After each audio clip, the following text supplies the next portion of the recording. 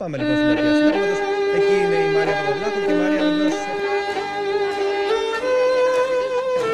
της Ισπανίας και οργανώθηκε μέσω Facebook. Ποτέ θα κάμει, ποτέ θα κάμει ξαστεριά ε, ποτέ θα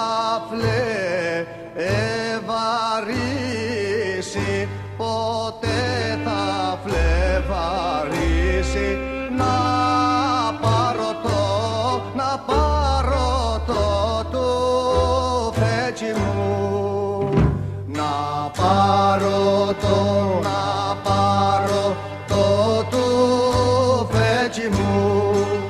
Ε, την όμορφη η πατρόνα την όμορφη